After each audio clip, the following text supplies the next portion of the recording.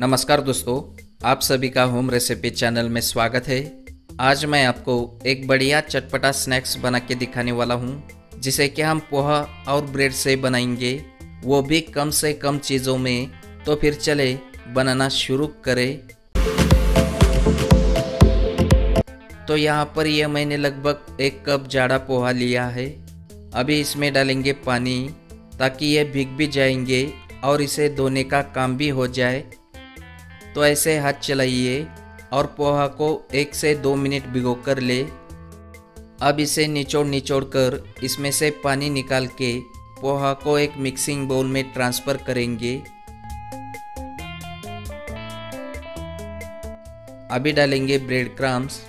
यह मैंने दो ब्रेड का घर में ही ब्रेड क्रम्स बना के लिया है।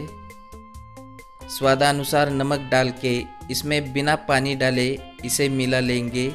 और इसका डो बनाएँगे। यहाँ पर इसे अच्छी तरह मसल मसल के लेना है, ताकि डो अच्छे से बन के तैयार हो जाए। जैसे कि आप देख सकते हो कि हमारा डो अच्छी तरह बन के तैयार है।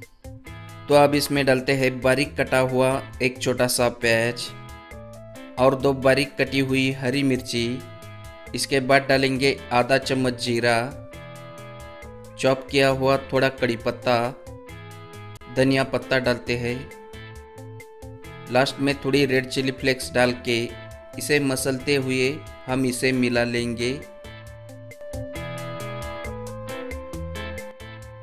ये देखिए, सभी चीज़ें अच्छे से मिक्स हुई है। तो अभी हम इसे दो पार्ट में डिवाइड करके एक पार्ट की लुई बना लेंगे और बाद में उसे सरफेस के ऊपर रख कर बेल कर लेंगे। दोस्तों, हमें इसे पतला नहीं बल्कि थोड़ा मोटा ही बेल कर लेना है। और इसे बेलते समय इसके किनारे फट भी सकते हैं तो आप उसके किनारों को दबाते हुए ऐसे बेल कर लीजिए। जैसे ही बेल कर हो जाए, तब किनारों को काट के इसे स्क्वायर शेप दे। अब इसके किनारों को हटा के इसे हम दूसरे आटे के साथ बेल कर लेते हैं।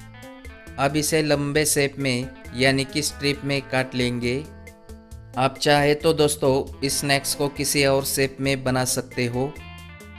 ये देखिए, ऐसे सभी आटे का एक साथ स्नैक्स बनाने के बाद, इसे डीपली फ्राई करके लेंगे।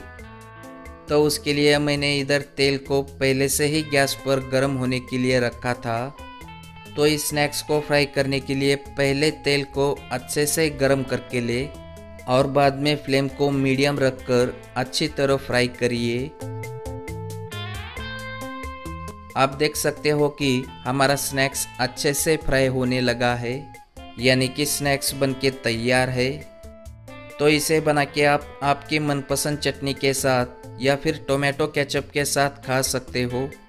तो आज की यह स्नैक्स की रेसिपी पसंद आई हो तो इस वीडियो को लाइक और शेयर ज़रूर करें।